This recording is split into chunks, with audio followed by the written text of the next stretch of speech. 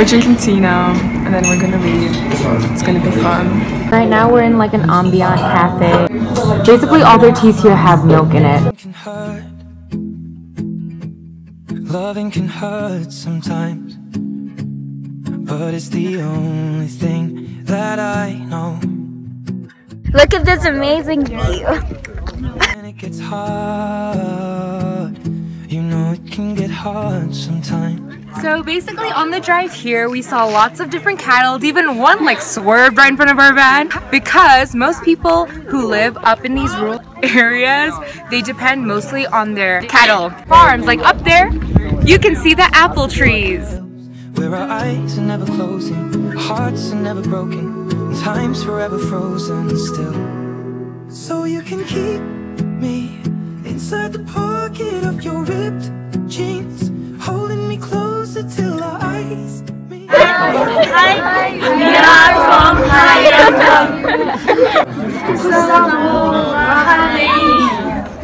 Loving can heal.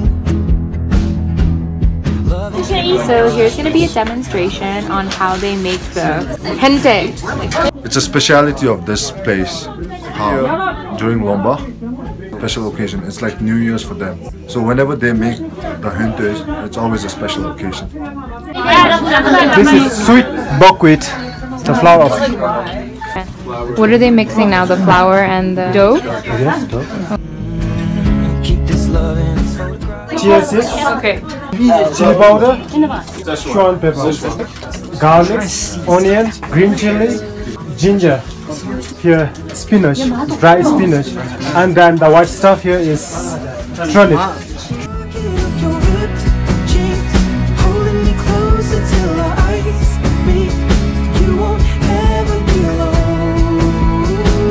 Messing with your thing. Kind of sucks. It kind of sucks. Yeah, no, it really sucks. Kind of. So after they dough it and finger it together, they would they would steam it in that for like half an hour, and then after that they would fry it on this with refined cooking oil to get crusty, sensational thing that we just ate.